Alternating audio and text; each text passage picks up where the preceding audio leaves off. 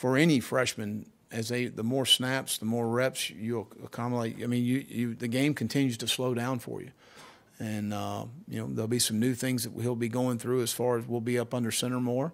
Um, you know, offensively, there'll be some different things from a verbiage standpoint, communication standpoint that he'll have to adapt to, as well all the quarterbacks. But again, the more snaps, the more reps you take, the game continues to slow down, and uh, uh, we're looking forward to that. What will be the most important traits that you who can lead need our to see? football team, be productive, be accurate with the football, uh, take care of the football score. Who's productive? I mean, those, those things are what we're looking for. I mean, who's going who's going to move our offense and be a productive, uh, help us be a productive offense and win games.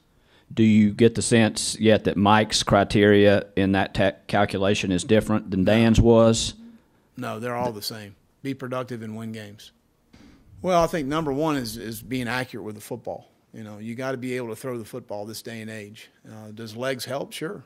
But you can do some things to help yourself if you don't necessarily have a mobile quarterback. But being accurate with the football, you've got to be able to throw the football this day and age.